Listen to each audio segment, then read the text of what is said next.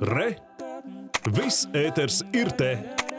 Un apkuras atbalstam piesakās arī Latgalē. Pirmie interesanti pārsvarā ir pensionāri, kuri mājokļu apkurē izmanto malku, par kuru iegādi nevar uzrādīt oficiālu apliecinājumu. Tā novērojuši pašvaldības darbinieki Ludzas novadā.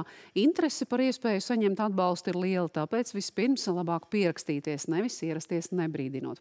Turpina Dinija Meļānova. Spīdējot lietum un stiprajām vēja brāzmām Latvijas austrumos, uz dažādām pašvaldību ēkām devās tie, kas cer saņemt kompensācijas energoresursu cenu pieaugumam. Par malku. Bija no reizes bija 150 no pavasara malkas reizes, pēc tam 350. Ot ir aizņas. Tā vīzē skatījos, ka tur var būt piešķirs.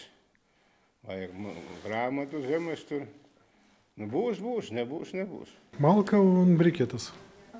Nu, Brikitas, jā. briketas arī 400 eiro jāmaksā.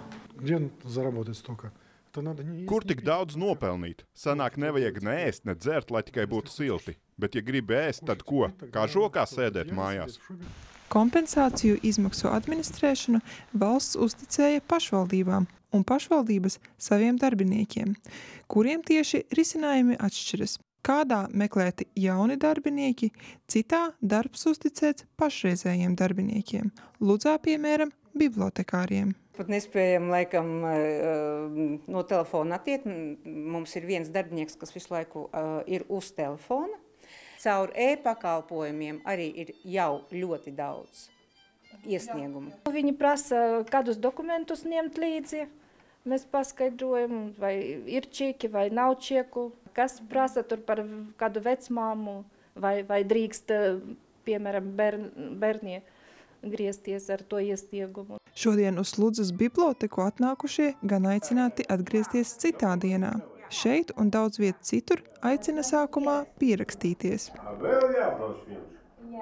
Biblioteka nav sociālais dienests, un mēs nevaram tikai veltīt laiku tātad iesniegumu saņemšanai.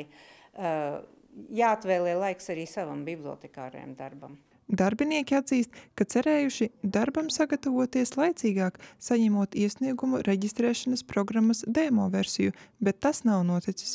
Arī tehniski bijušas ķibeles, bet tās atrisinātas piesaistot vietējos IT speciālistus. Novada pagastos administrēšanas darbs uzticēts arī sekretārēm.